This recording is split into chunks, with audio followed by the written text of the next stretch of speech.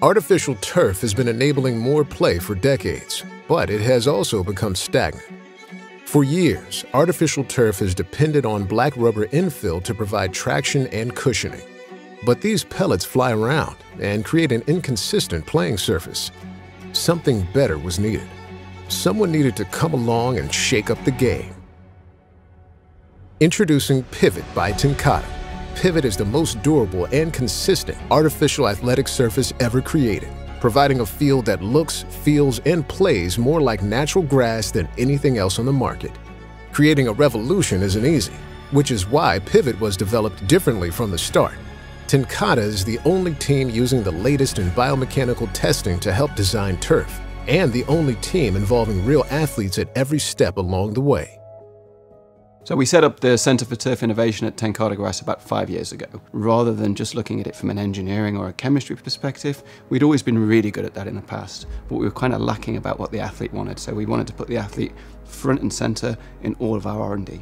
Obviously, research isn't a fast process, so we've done lots of iterations, lots of development. The first things is we had to understand how to measure things, and then when we started to understand how to measure the athletes, that allowed us to start iterating and understanding how good quality grass was working and how current turf was working. And then that allowed us to develop new systems and really have a good fundamental understanding. So when it comes to Pivot, that was really a four to five year journey of evaluation, validation and testing. And I think we're on about version iteration around 52 at the moment to get to where we are today. But it's not a fast process, it's been a slow, iterative, step-by-step -step process, looking at it from all different directions, from a real holistic point of view, to really understand how that surface is affecting the player and how the, the player can get the best out of the surface and really emulate good quality natural turf. Collecting data from athletes is always difficult. They're fast. They move around in very complicated movement patterns. So we need to have very sophisticated equipment and very sophisticated uh, sensors and some great quality high-speed video analysis. So we can get the players kitted up and we can see what effect the surface is having on their joints, on their muscles, and also on their athletic performance. How fast can they run? How quickly can they change direction? And then we can use that and we can put all that together and assess system A versus system B versus system C. And that allows us to get a good insight of when we change one parameter of the product, how that affects the athlete. So we started doing that on, on natural turf. Of course, we, we can't grow natural turf very well in the lab, so we can test natural grass in a whole range of different conditions, and then we can see well, how our current fields are performing. Then, when we launch a new product like Pivot, we can install that product in a field as a pilot and we can get some good measurements and some real world feedback. How is it going to react when it freezes? What's it going to react like when it's really hot outside, when it's wet, when it's cold? And we can really understand how all those different conditions, which is going to affect the turf in the real world, how that affects the players and how that affects the product. So we're making sure that it's going to be good 365, 24 7. So when we're collecting this data from these sensors, we want to see the joint angles. We want to see how quickly the angles of the, the, the, lower limbs of the body are changing as they're running. We want to see basically how their gait, how their running style is being adapted for the surface. Athletes are really clever. We don't realize how clever we are. We adapt within microseconds, but we can pick that up in the data. So we can see how the force going through the ankle, through the knee, through the hip is different on different products on different surfaces as they're doing different movements. We can put all that stuff together and we can really get a good fundamental understanding of how the product is affecting the athlete.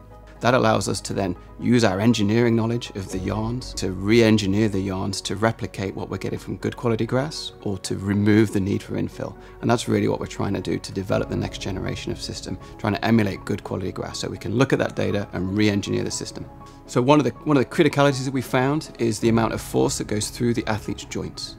So obviously you don't want too much force going through the joints, but if you have too little force, then maybe there's going to be a slip and the player's not going to be able to perform their action correctly. So we want to try and see how much force goes through the ankle, through the knee, through the hip and through the body. And we can really measure that and we can see how different surfaces relate to generating more force to the athlete. And one thing that we did find on a lot of rubber fields that we're using is some of those forces were quite high much higher than on natural grass. And what we've done with Pivot is we've been able to get those forces very, very similar to good quality grass. With natural turf, the soil mixture and the sand mixture is what gives it the performance and the grip that the athlete wants. Soil is quite a deadened impact. In engineering, we call it plastic, so it's plastic deformation. So when a cleat hits the soil, you leave a little mark, a little divot in the turf. It absorbs the load, but what it doesn't do is it doesn't, it doesn't push back against the athlete. So you get that nice, comfortable cushioning from soil, but you don't get a huge amount of pushback. And that's what we're trying to emulate. What we're seeing with historically with turf is that With rubber, it's great at absorbing the load, but it also wants to push back. The more you squash rubber, the more it wants to bounce back. And this recoil that we've been able to measure, this, this recoil effect of the rubber, is something that is not at all um, helpful for the athlete. The numbers of players that tell us after they come off a rubber field that they feel a little bit tired, uh, like some of their joints ache, we're able to measure that now. And with Pivot, we've been able to overcome that hurdle of, of turf and basically get much closer to what grass does. What we've done with Pivot is we've designed the yarns to react just like soil. We've basically taken all the infill out and we've put in significantly more fibres, more yarns as we call them. But what we've done to those yarns is we've re-engineered those yarns from first principles. We've gone back to the drawing board from an engineering perspective, from a chemistry perspective, and we've produced those yarns to react like soil. So we've got significantly more yarns up to four times the mass of yarn that we'd have in an old turf system. But those yarns are non-directional. So when the, when the cleat goes in, it absorbs, it takes it, it provides a grip, but it doesn't spring back. It slowly releases, which is almost identical to good quality grass. And that's taken years of innovation to get to that point. It's great having the mechanical and biomechanical data. At the same time, we also spend a lot of time talking to the athletes because it's quite important to get their feedback, they like or what they dislike about it. So we spend a huge amount of time doing focus groups and talking to the athletes to really get an understanding and trying to get their language, their communication, and put that into an engineered product. This stuff is so comfortable to play on, and compared to the rubber turf and the grass, I mean, it's definitely as close to grass as you can get, in my opinion. You have a little bit more momentum when you plant. You don't really see as much of slipping or sliding. This grass feeling more like a real grass material. Yeah, it's like you can get out of cuts faster, get out of breaks faster. The acceleration phase, you can get to top speed at a higher level, I feel like. Especially with being 250 plus pounds, I mean, it's hard to get that kind of weight moving, especially in sports like football. I mean, you've got 300 pounders running on this stuff all the time, and just the ball get off and starting and stopping is so much better on this kind of stuff. Earlier I was just kind of messing with it. I was trying to like make myself slip. I couldn't and it's almost like, I mean, comparing the old fields to this to this new turf, it's like this is almost gives you an advantage. If you, like if this is at your home stadium and you're used to playing on it, I mean, like it is quite literally an advantage to have this turf over the other. We've got some fantastic equipment where we can simulate years of use within weeks of testing. And what we found is it's our longest lasting product that we've made. It, it, it, outperforms all of our other products. We're seeing that the performance is being maintained for years and years. The performance is not dropping off over time. It's maintaining the level of performance for years and years. The difference that I noticed um, immediately is just the, the feel under your feet. It's something that, like, this is kind of an age-old question now, with turf versus natural grass, and and uh, it's something that comes up a lot with our coaches. And and uh, the the question that kind of se seems to come up is, well, well, if you had a perfect grass surface, would you rather play on the grass? Would you rather play on the turf? And the thing I would say is like th this feels like a perfect grass uh, surface, and um, I I really haven't had the luxury of playing on very many that, that feel like perfect grass. They're actual uh, natural grass. It's just so hard to take care of. Um, so uh, we, we feel like we're like we have that perfect surface right here. When I walked on the pivot turf the first time, I was blown away at how cushy and soft it felt to the point where I wasn't sure how this would actually play. Getting our kids on it and getting on it myself in cleats gave me a completely different perspective. It's the best surface I've ever been on, uh, in every way. One of the biggest compliments we've gotten is actually coming from some of the coaches and chain crew. They're on their feet for four hours, five hours, moving back and forth, they, they feel better. The players are always going to be banged up, but when you have a group that, that doesn't have any impact and they're still feeling better about it, then uh, I think it says a lot about the product. We decided to turf 14 fields, which included five softball fields, a number of baseball fields, and it also included a full-size soccer field, which we also use for lacrosse. What we have seen is it has expanded beyond our own residents. We have outside tournaments that are now wanting to use this pivot turf. Uh, they've got other options in the area to use regular 45 ounce or even less uh, face weight of turf, but they're all wanting to play on this pivot turf. So that's a good indication to us that we made the right decision. So this has been a great response from our community and the demand uh, has just skyrocketed to, to use these fields. I tell you, you know, being a coach for 27 years, I'm not a, an engineer of any way, but I can see football, I can see people on it. I see them cut better, I see it faster. If you take it away from football and put it into a soccer perspective, I see a truer ball when it's kicked because of not having the black infill that you normally do on a regular turf field.